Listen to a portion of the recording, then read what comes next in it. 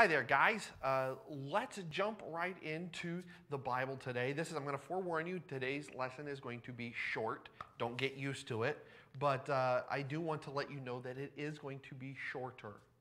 Uh, now, we've talked a lot about the Holy Spirit, what He's done, uh, what He is supposed to do in our lives. But I want to set that, that type of thing aside, and I want us to talk about a very common item that you probably know already a lot about, and that's the item of sandpaper. You know what sandpaper is. It's that stuff that you take to make wood or sometimes metal and to make it nice and smooth. See, as you take that piece of sandpaper, there's little things on there that help rub off all of the edges, all of the rough stuff to make it nice and smooth. And as you do that, it creates this thing called friction. It'd be like if you took both of your hands and you took them together and you rub them together real fast, your hands start to warm up because of this thing called friction. It's this sciency term. Well, the Holy Spirit creates friction in our lives. In fact, in the lives of every person, He creates this friction. And that friction is called conviction. But what does this big word convict mean? What does the word convict mean? Well, let's talk about that real quick. The word convict means to present or expose facts, to convince of the truth, to convince of error or sinfulness. All right, those are some very big words. Those are some very big things. It reads like it's out of a dictionary because it is. But what does the Bible say about conviction? What does the Bible say that it's about? Well, he tells us that in the book of John. See, John chapter 16, verse 8 says this And when he, he being the Holy Spirit, comes, he will convict the world concerning sin and righteousness and judgment. See, that word convict literally means he's going to impress upon sin, righteousness, and judgment. Well, those are that's what it the friction that the Holy Spirit creates if somebody doesn't know Jesus as their Savior. What was the first thing he says? He will convict them of sin. You guys know what sin is. Sin is anything that we think, say, or do that breaks God's law and makes him sad.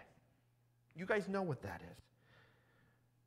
The Bible is very clear that we are a sinful people when we do not have Jesus, or even when we do, we sometimes still sin. We do things that are wrong.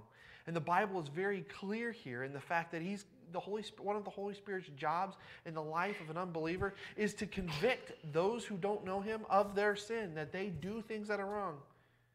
Holy Spirit does the same thing for those of us who do know Jesus. But we'll talk about that and how that looks in a little bit. The second thing that John here in, in the Bible says that the Holy Spirit is going to convict the world of is not only sin, but also of righteousness.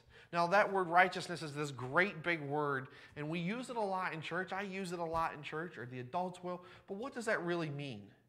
Well, the word righteousness it literally just means this right living, or living right, living in a way that pleases God. See, God's righteousness, the way He believes we should be living our lives, is perfect. And we don't live up to that. So the Holy Spirit convicts us that we don't live up to the God's form of righteousness. See, he convicts the world of that last word, which is called judgment. He reminds us, he reminds those who don't know him that there is eternity waiting that forever and ever and ever and ever and ever and ever, beyond time, punishment is going to happen for our sin. See, the whole point of what the Holy Spirit does in the life of an unbeliever is to show them their need for Jesus. In fact, Jesus says that in that same passage.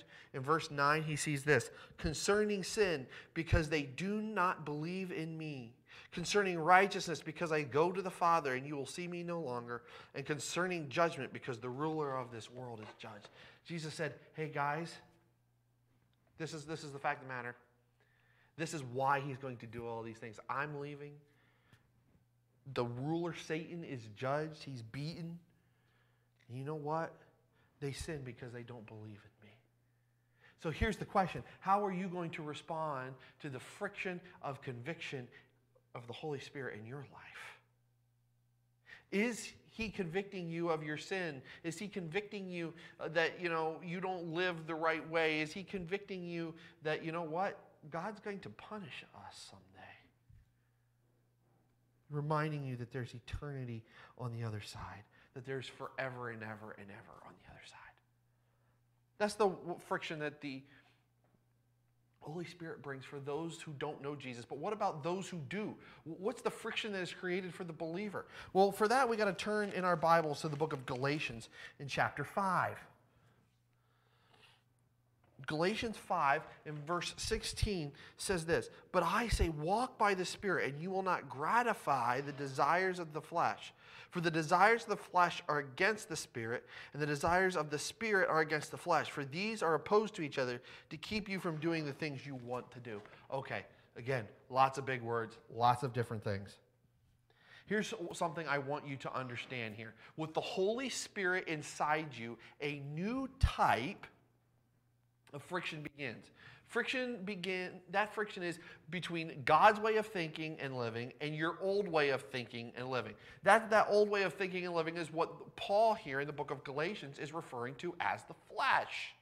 The flesh, your old way of doing things, doing things that please you, doing things that only make you look better and not to serve and help others.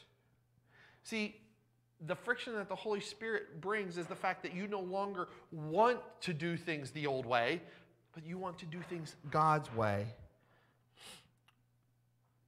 This is a good thing because as the Holy Spirit works on us, we can become and we can walk more by the Spirit. We can yield to Him.